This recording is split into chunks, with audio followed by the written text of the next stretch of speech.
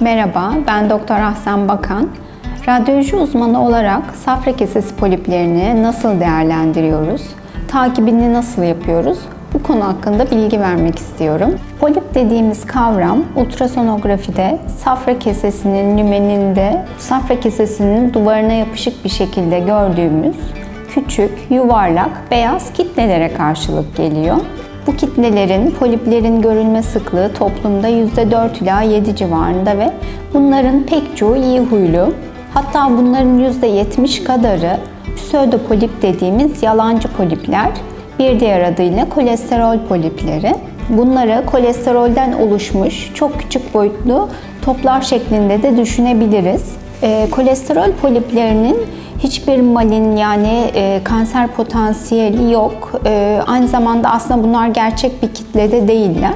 Bu nedenle bunları yalancı polip olarak adlandırıyoruz. Poliplerin %70 kadarı kolesterol polibi dedik. Ancak ultrasonografide gerçek polip ile kolesterol polibi ayrımını bu kadar yüksek oranda yapamıyoruz. Yani ultrasonografide gördüğümüz poliplerin %70'ini kolesterol polibidir şeklinde raporlayamıyoruz. Bunun nedeni e, kolesterol poliplerinin de ultrasonografide diğer polipler ile çoğu zaman aynı görüntüyü vermesi. Aslında kolesterol poliplerine özgü bir ultrason bulgusu var. Bu da kuyruklu yıldız artefaktı dediğimiz bir bulgu. Yani polibin arkasında devam eden beyaz çizgi şeklinde bir görüntünün olması. Bu görüntüyü görüyorsak ultrasonografi raporumuzda kolesterol polibi olarak raporluyoruz ve hastaya hiçbir takip önermiyoruz. Bu da bizim polip değerlendirme, takip algoritmamızdaki ilk aşamayı oluşturuyor.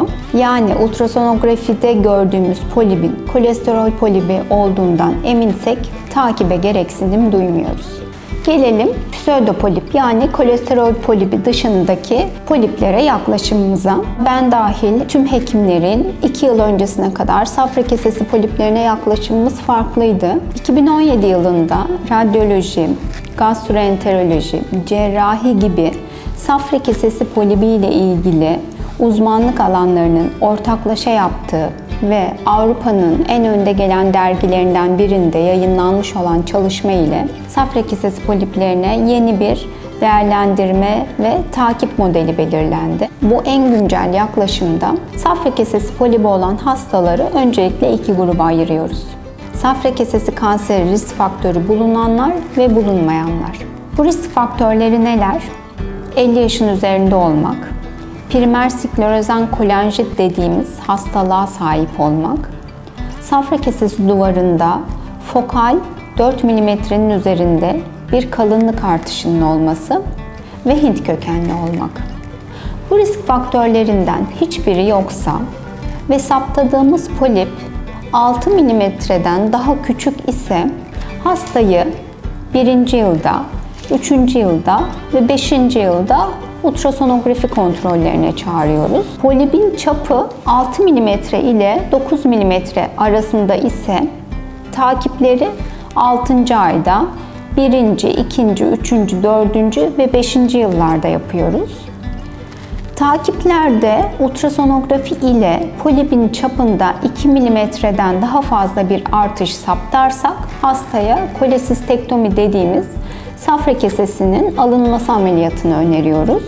10 mm'nin üzerindeki poliplerde ise bu poliplerin malin potansiyel yani kanser riski taşımalarından dolayı direkt cerrahi tedavi öneriyoruz.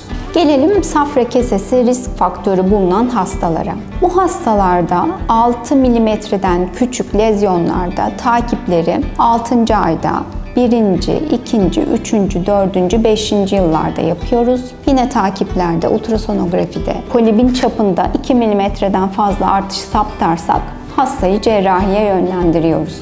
Safra kesesi poliplerine en güncel yaklaşım bu şekilde.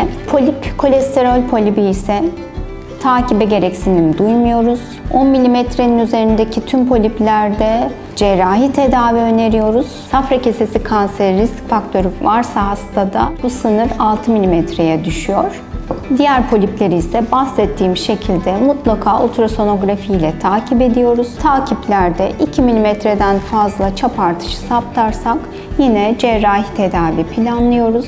Takiplerde polibin boyutunda herhangi bir artış mevcut değilse 5. yıldan sonra takibe gereksinim duymuyoruz.